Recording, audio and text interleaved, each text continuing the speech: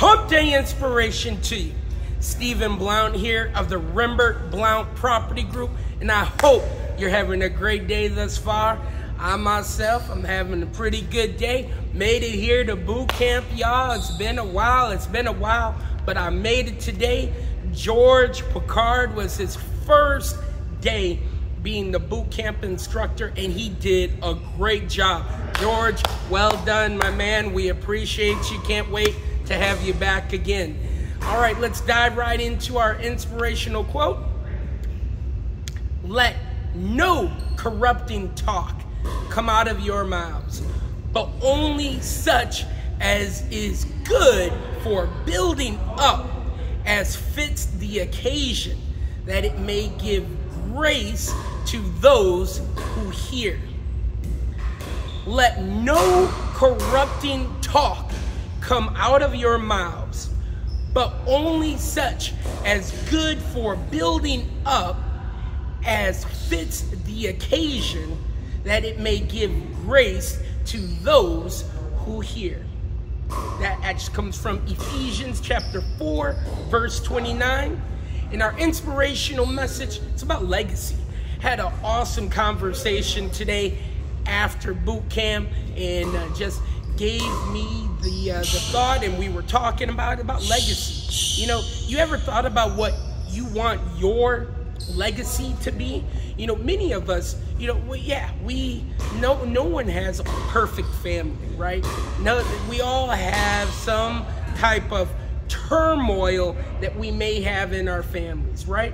However, you know, we all, and I know myself, and I'm sure for you too, we all do the best we can, right? And as we're we're uh, parents now, right, and we have children, and we want good things to be passed on to our children, right? And then our children's children.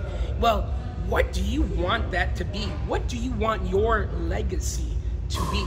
So always keep that in mind. And, uh, you know, and, and for me, you know, one of those things would be, you know, always being kind, loving, and respectful is what I hope to. I know it sounds very cliche, if you will, but to that to be passed on. And then, of course, you know, the generational wealth.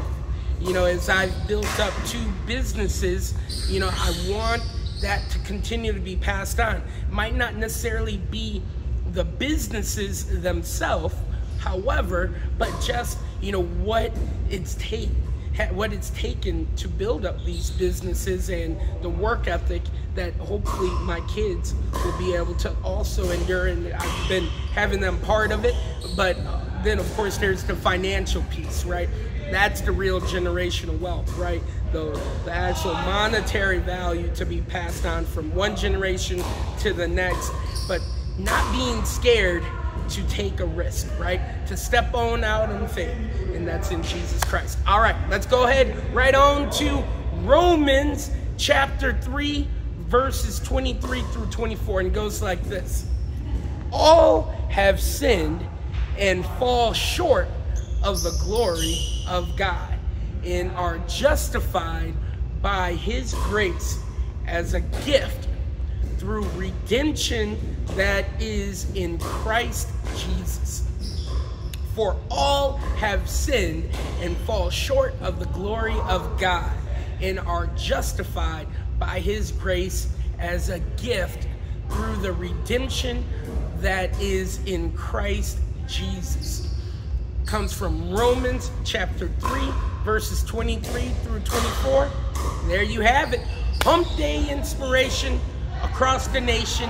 I am your man, Stephen Blount of the Rembert Blount Property Group. I hope you have a fantastic day today. Make sure you like, share, and subscribe on all of our social media platforms. Until then, this is Stephen Blount signing out. Take care, y'all. Bye bye.